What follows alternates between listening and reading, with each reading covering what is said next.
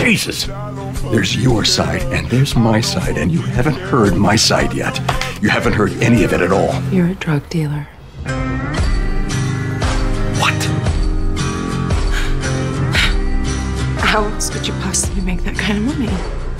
Marijuana. That Pinkman kid. Oh my God, Walt. Cocaine? Methamphetamine. I'm a manufacturer. I'm not a dealer. Oh.